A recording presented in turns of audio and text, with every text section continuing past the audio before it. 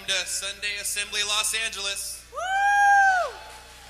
We're really excited to get started today. My name is Hannah, I'm Anthony. and we're married to each other.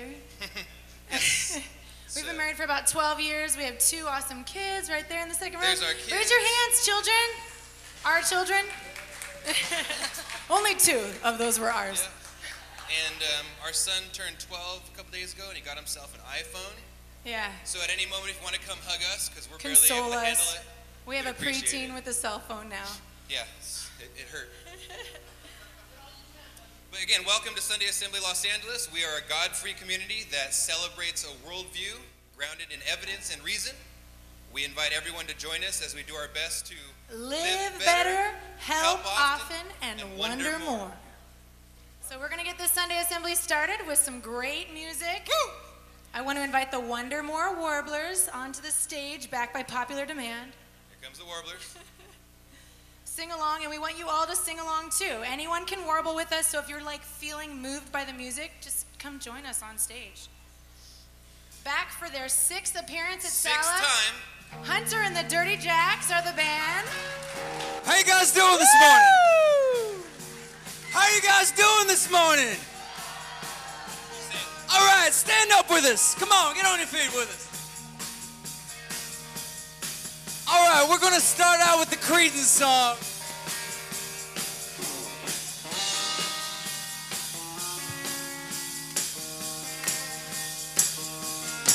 Here we go.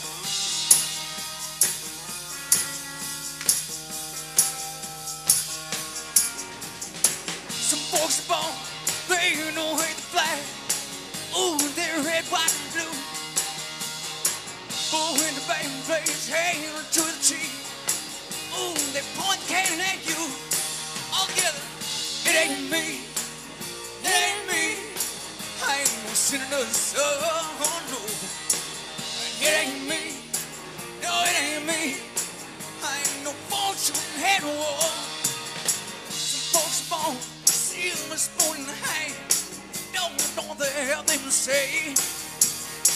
But when the tax man comes to the door, the house looks like a Roman say, hey, it ain't me. No, it ain't me.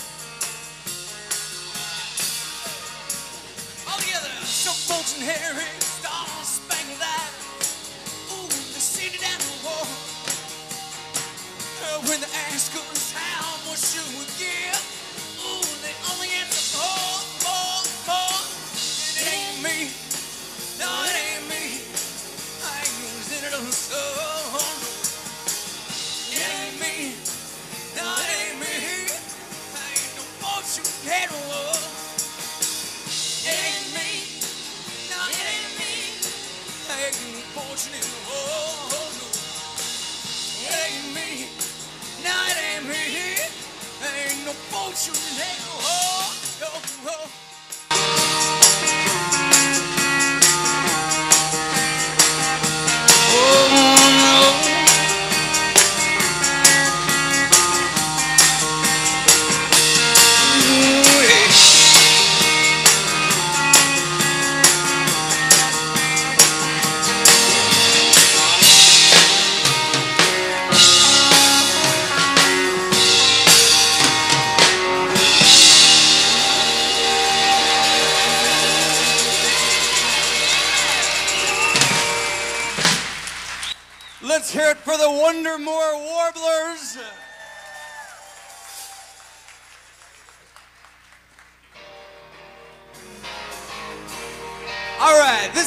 original one a bunch of y'all know.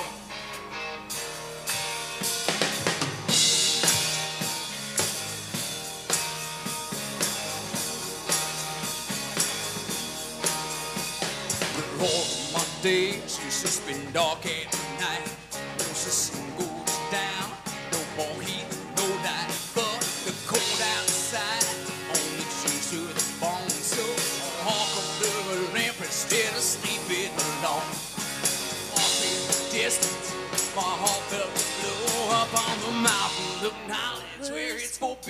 to go.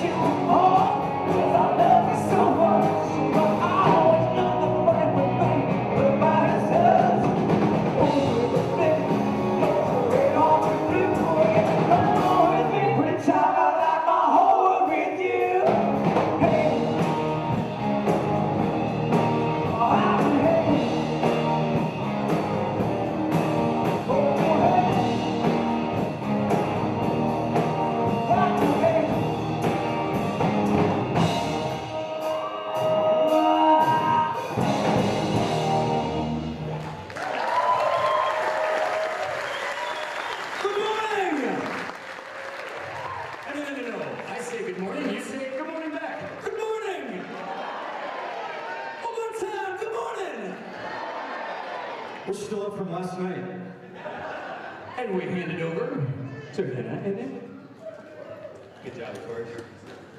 When's it not? It's not my script. Okay. we're both singers, so we're like, is this your special mic that you want me to take? Thank you, Hunter, and the Dirty Jacks. One more time. And I'm sure you got it. Then good morning again. Now it's time to get to one of our favorite parts of the assembly, the assembler milestones. We collected these at the beginning when you signed in, and now it's time to share them with everyone. First, I want to welcome all the guests from Sunday Assembly San Diego. Where are you at? Look at that. Thank you for coming to LA. Beating the traffic. We also have a lot of visitors from Orange County. Where are you at, Orange County? Look at that. We even have a gentleman from Las Vegas, Mr. William. Thank you for coming. And to all our new guests, thank you for coming to Sunday Assembly. I want to uh, congratulate Sarah Sandberg. She's starting a kick ass job on Monday. And you can talk to her about that, but it really is kick ass. Here's, here's how kick ass it is. She starts her first day in Las Vegas. She flies to Las Vegas. $2,000 in chips, all the drinks she wants. That's her Monday morning. Uh, Terry Smith has been working really hard to uh, start a secular student alliance, and last September she started that with uh, Pasadena City College.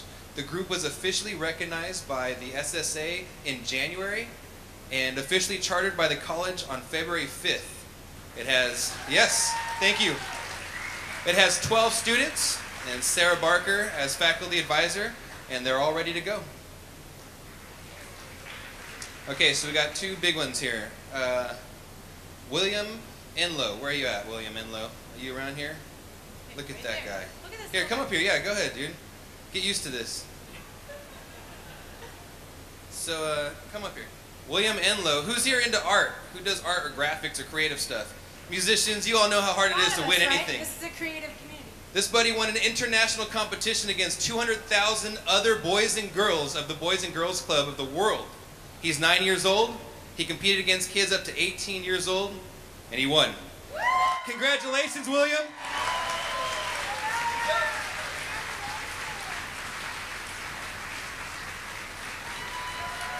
He's even got the shirt to prove it.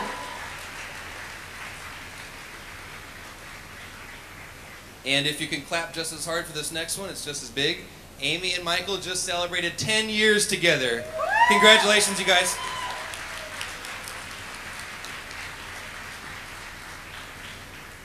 All right.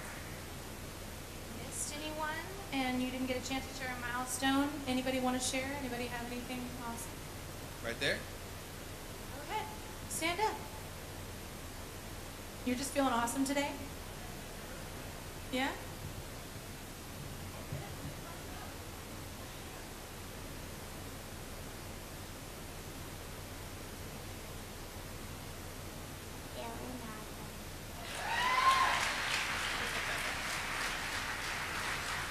That is something to celebrate. Oh, yeah. And then again, my son, um, our son, Mick, like Mick Jagger. And actually, he's Mick Richards, like Mick Jagger and Keith Richards. So he has the most amazing rock and roll It'd be some amazing science, too. He's 12 years old now and a proud iPhone owner. So let's. Congratulations, Mick. All right. That's it. Anybody else? Milestones? I don't want to miss anybody. We have one? We have two? Woo! You made it!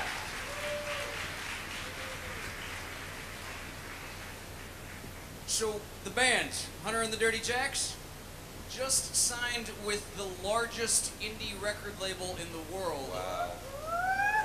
How, how long ago? Uh, the, the important date is this spring. They're going to release our first album called Single Barrel. Wow. It's going to go out glo- global distribution, all kinds of things.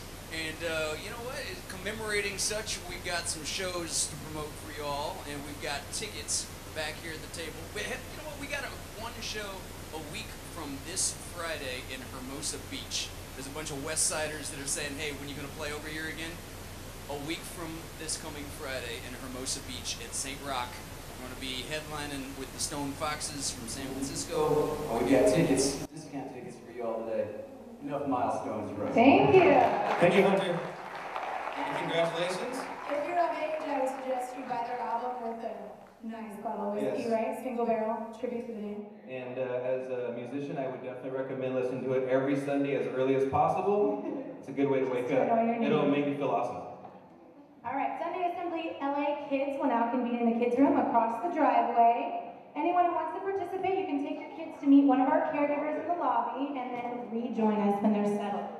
This is just a courtesy to you. You do not have to bring your children out there. They're welcome to stay in here with us, but uh, feel free to take advantage of it. Our item drive this month was for the Burbank Animal Shelter. We're Yes. Burbank locals, so we're pretty happy. Go Burbank. There's a lot of animals in Burbank. Next month, we'll be collecting for our homegrown service project, the Sunday Assembly Line. This project is entirely in-house and it will involve creating care kits with toiletries, other needed personal items for the homeless and in our community. We will distribute these care kits personally next month. And we'll also invite you to bring dry good food items next, next Sunday Assembly for our ongoing drive with the West Side Food Bank battling food insecurity and hunger in Los Angeles. Thank you, Hannah. All right. Um, so this one, this is an icebreaker, and we had a hard time figuring out one that was we thought creative and fun. And so Gina just put us in our place. And so this icebreaker is a very personal one. Um, it's prolonged eye contact. So since our theme this month is building trust, we're gonna do something that might make you a little bit uncomfortable. So you're gonna look for somebody hopefully you don't know, and we're gonna put 60 seconds either on the screen or somebody's gonna put it on a clock. But We'll count. try to look. It's okay to laugh, but just try to look at the other person's center of their eyes. Look at their nose if you get uncomfortable. See what you can learn about them in 60 seconds. See what you can learn about it. Okay, we'll give you a minute to choose a partner and then we'll start the clock. I'm gonna choose Hannah.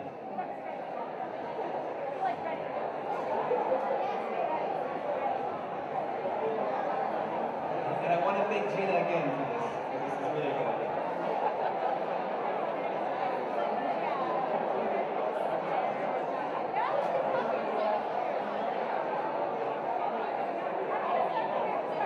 Okay, time is beginning now.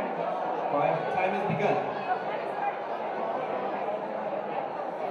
So,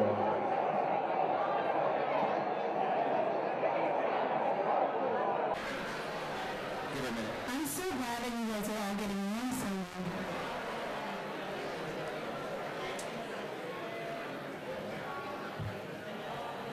All right, are we ready? Are we ready? All right, next we'd like to welcome up Saba Ellis. She's going to share a reading. Saba, where are you? There she comes. Thank you, Saba. Hello. This is a poem by Maya Angelou. Lying, thinking last night how to find my soul a home, where water is not thirsty and bread loaf is not stone. I came up with one thing, and I don't believe I'm wrong, that nobody, but nobody, can make it out here alone alone, all alone. Nobody, but nobody can make it out here alone. There are some millionaires with money they can't use. Their wives run round like banshees. Their children sing the blues. They've got expensive doctors to cure their hearts of stone. But nobody, no, nobody can make it out here alone. Alone, all alone. Nobody, but nobody can make it out here alone. Now, if you listen closely, I'll tell you what I know. Storm clouds are gathering, the wind is gonna blow. The race of man is suffering, and I can hear the moan. Cause nobody, but nobody, can make it out here alone. Alone, all alone. Nobody, but nobody can make it out here alone. Maya Angelou, alone.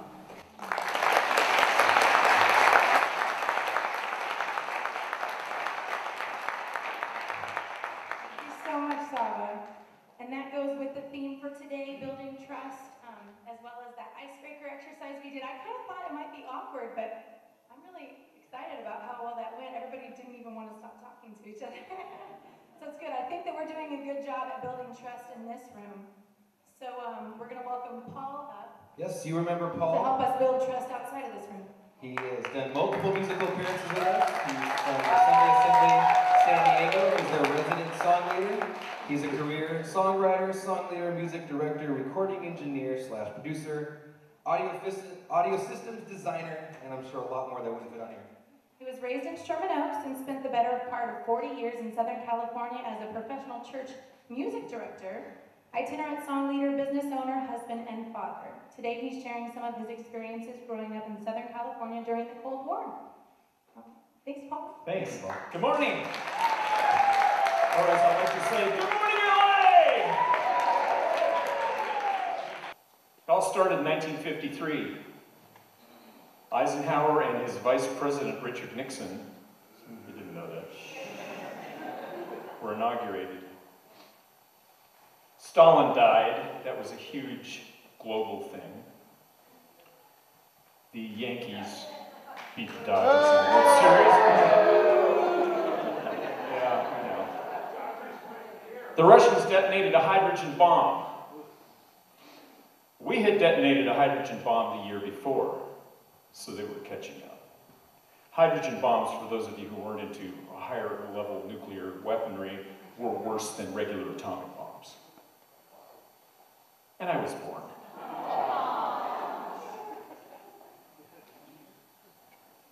I grew up in Sherman Oaks, right over the hill, right down around the base of the hill. This is our house, this little place that says our house. This is my family. I tried to pick the worst picture I could find of us, especially my sister in the middle. I was the oldest of four. And this was my boogeyman. From the time I started to go to elementary school, I learned that nuclear war was not only an if, it was a when. And there was this, and it was a real thing. And so we played ball on the streets, and we hung around and we did things, but every now and again we would remind ourselves that the Russians were going to get us.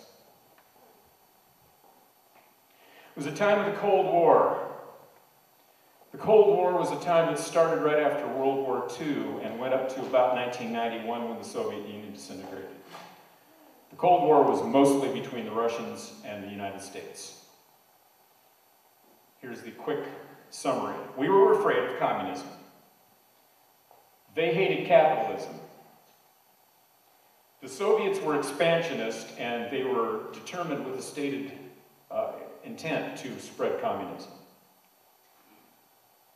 America was afraid of the Soviet nuclear attack, and guess what? The Russians were afraid of an American nuclear attack because at that time, the only people who'd ever used one in war. Suspicion led to mutual distrust. Both sides kept building more and more bombs and showing off. Nuclear testing, and then there were spies, and there was everything. And I was a child, but I learned this term, MAD. Anybody know what MAD means? Mutually assured destruction. What that meant was by the time I was old enough to pay attention, we knew that if one of us attacked the other, that we had enough automatic systems in place to wipe out the other country if they attacked us. Because Russians were going to get us. So I went to elementary school and we had a film by the Civil Defense Administration and it was this guy named Bert the Turtle. Bert the Turtle had his own protective hard shell, but of course we were human beings, we didn't have that. And so at some point in time we would need to learn to find shelter. Not if, but when. We were told about the atomic bomb. It's a new danger. We were told all about going to find a shelter. This is an actual civil defense fallout shelter sign from an old fallout shelter. And that's where we had to go. But you see, elementary school kids were smarter than everybody else. We knew that a child's desk would protect us from the bomb. And so we would have duck and cover drills. And so we'd be sitting in class in second or third grade, and the teacher would go, Drop! And we were trained as children to hit the deck, go under the thing, pull our head. And it was not about earthquakes. Because? So, on the last Sunday, or the, on the last Friday of every month at 10 o'clock, they would fire these big machines off. And I had a sound effect, but we're just going to skip it for now. Um, air raid sirens. The last Friday of the month, 10 o'clock, like clockwork. And we would make our way to a fallout shelter if that siren came at some other time. Now, if I were going to attack a major city in the United States, I'd do it at 10 o'clock on the last Friday of the month. It just made more sense to me. But I was a nine-year-old, what did I know? So down here in this circle, that's my house, and then if you walk three blocks up there, on the corner of Beverly Glen and Ventura Boulevard was the Sherman Oaks United Methodist Church, and actually the Sherman Oaks Methodist Church at the time, and they had a fellowship hall that had a big steel door in it. And so it was kind of a de facto fallout shelter. It was the closest thing. But also on the corner of Beverly Glen and Ventura Boulevard, they sold these. It was before Fatburger went up. They sold these. These were fallout shelters. You could dig a hole in your backyard, put one of these in there. You could even get uh, FHA funding to have one of these holes dug in your backyard to put these in. And you'll still occasionally find houses in the valley. This was a big pool company in LA, Catholic Pools, and they also sold fallout shelters because the Russians were going to get us. And this is your family down in your fallout shelter.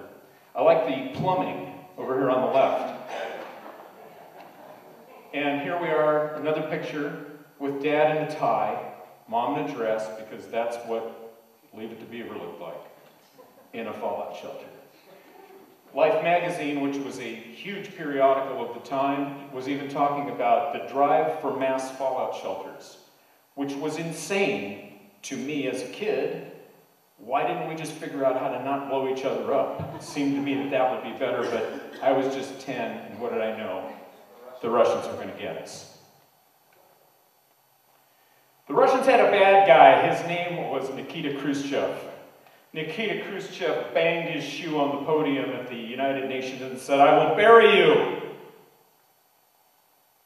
Actually, he never really did that. That was propaganda. It wasn't true. But we all believed that. He was the bad guy. We had a good guy. We had JFK.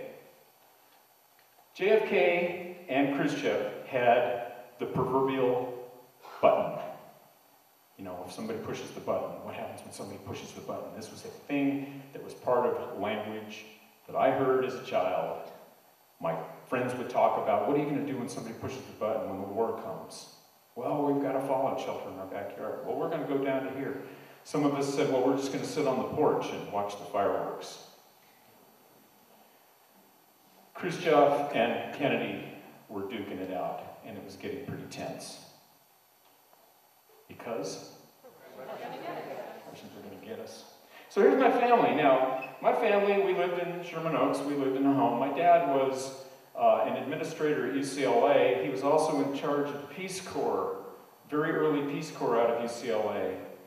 My dad was a very smart man. My mother was a very smart woman, and they believed in people, and they believed in negotiating, and they believed in working out problems without violence. And that's what they taught me in my house. No, hey, Shelley. Uh, that's what they taught me in my house. They taught me we work things out, we don't fight. I also lived in this house, and across the street we had a doctor. So if we fell down and skinned our knees, old Doc Wally would patch us up. Next door to Doc Wally, we had a TV star. Noah Beery Jr. lived next door. He lived across the street from us, and his son had a go-kart, and he used to drive us around, and we had a great old time. But we also had the Russian lady. So now we're kids, and we've got the Russians are going to get us. Then I go home, and the Russians aren't going to get us because we're going to work stuff out. And across the street is the Russian lady. I never knew her name. She was the Russian lady. And she was really, really nice. And her husband was really, really nice. And they had a big dog, and it was really, really nice. Everybody about the Russian family were nice. They didn't want to get us. If the Russians came and got us, they'd get the Russian lady too. I was 10, it didn't make sense to me. I also was a big folk music fan from as long from the earliest sound I ever heard in my life. And folk singers like Pete Seeger and Woody Guthrie and Odetta and Mahalia Jackson and the Kingston Trio, they, they were singing songs that said things like, Listen, folks, here is my thesis peace in the world or the world in pieces. So I had the Russian lady and I had the folk singers, but went outside that neighborhood, Russians are going to get me. October 1962 was the Cuban Missile Crisis. Was the closest we ever came to nuclear war, in my opinion. Went something like this. Fidel Castro had taken over Cuba, and uh, he had turned it into a communist country, so he became friends with Khrushchev. Cuba had become a communist country. In 1961, the CIA and their minions went over there and tried to um, assassinate Castro. So he wasn't going to be trusting us. So he asked the Russians for help. The Russians sent 144 ships loaded with nuclear weapons and systems to support them to Cuba. Probably kind of overkill, but Khrushchev's going, yeah, I can get 90 miles off the coast of Florida with our missiles. The missiles, by the way, that were not strong enough to hit California from, from Cuba at that time. But I didn't know that. So we sent our Navy out to stop their ships. It was in the papers blast the Reds if Castro attacks. And the Russians actually used the term blockade is a step to nuclear war. They said it out loud. So we all watched the president, see what he had to say. And people went to the grocery stores and panicked. And they cleared the shelves. And I remember going to the store with my mom for milk. And I looked at people with full carts and the shelves looking like this. And I said, Mom, are we going to do that? She goes, No, honey. She said, I think President Kennedy's going to take care of this. We're going to be okay. Okay, go along. Thanks. And even though everybody was telling me the Russians were going to get me, I wanted to believe my mom. So I did. But everybody else, the Russians are going to get us, and they were going to get us. This is an iconic picture of President Kennedy struggling during that time. And when it was all said and done, this is November now, that happened in October. Passed. And the Russians didn't get us. I used to go to the church down there in Sherman Oaks, the one that was the fallout shelter, but I went there because it was the church and I liked the music a lot. As I got older, I liked the girls and the music a lot. And um, what did the church say about the Russians? Well, my church didn't say much about the Russians. They really didn't talk about the Soviets or anything like that. But there was a guy when I was in junior high who was a student at Cal State Northridge named Daryl. Daryl was the youth director for the middle school, or, or what we called junior high back then. And Daryl was great. We loved Daryl. He was the coolest guy. It was so much fun. He used to take us places and we did stuff. And one day I went to youth group and Daryl wasn't there anymore. There's somebody else there. And I said, What happened to Daryl? They go, Oh, well, Daryl's not here anymore. So I went home and asked my mom, and my dad was on the board of trustees of that church. And uh, my mom said, Well, honey, Daryl, Daryl was a student at Northridge, and he was, he was told to go by one of his classes to a meeting of a group. And somebody saw him go to this meeting of this group, and it was a communist suspect group. And so they decided that he was communist, and they fired him. Because. Okay? So, what happened to my boogeyman? Well, Khrushchev died in 71 and never got us. We all know what happened to him. But in the next 20 years or so, we spent an enormous amount of time and resources and scientific brain power and money trying to build things to shoot down missiles from outer space. At the same time, the Russians had this problem at Chernobyl. You might have heard about it. And what they discovered as a result of Chernobyl was that they didn't even need to put rockets underneath their warheads. All they had to do was blow them up in Siberia somewhere, and they'd be pouring out milk in Finland the next day. That's how insane it got. So, who's going to get you now? Hmm? Who's going to get you now? The Cold War was real, and the Cold War was manufactured. What's manufactured now? Who are they telling us to be afraid of? Fear is where we live. When we, when we live in fear, we miss the beauty. That's what my parents taught us. So, just real quickly, take my Cold War thing, take that out, put in war on terrorism, take out communism, put in Islamic terrorists.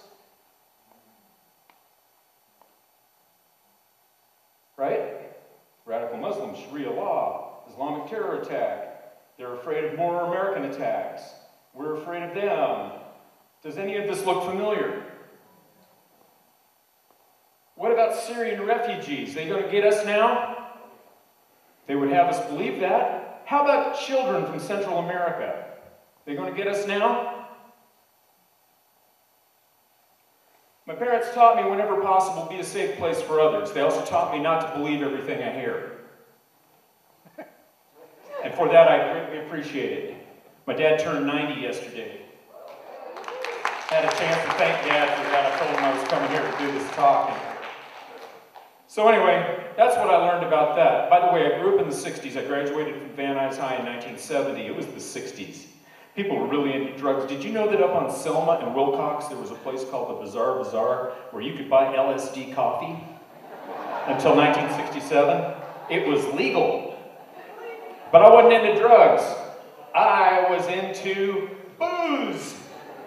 Nothing like a $2 jug of Red Mountain under the Santa Monica Pier, chug it down, waking up in your own vomit the next morning. It was glorious. But as I got older, I still liked booze. And I kept liking booze for a very long time, but what I really, really liked was vodka. So I guess when it was all said and done,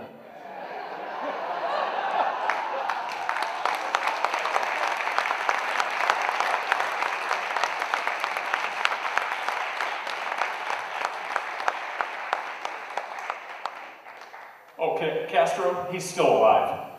He's still down there, not bothering anybody. Uh, and by the way, day before yesterday, I thought this was beautiful irony. The US and Russia announced a mutual plan to help humanitarian aid in Syria.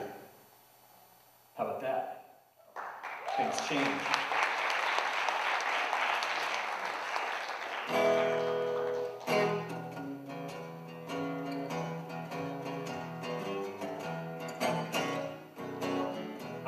Like yesterday, October 1962. There was panic in the city. Nobody knew quite what to do. As we stood there in the grocery, folks bought up everything around. There were some missiles down in Cuba,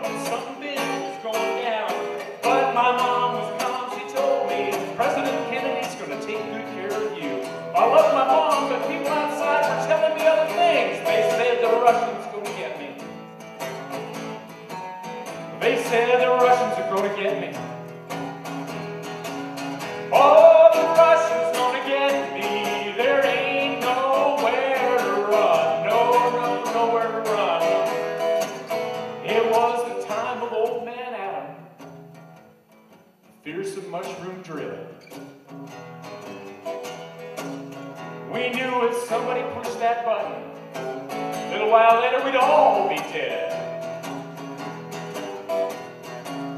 We had air raid sirens and drop drills. They taught us in our school that a desk would save us from a bomb. My God, we were the fools. So while the politicians postured, I pulled the covers over my head because the sound of airplanes flying by at night scared the hell out of me. Because I knew the Russians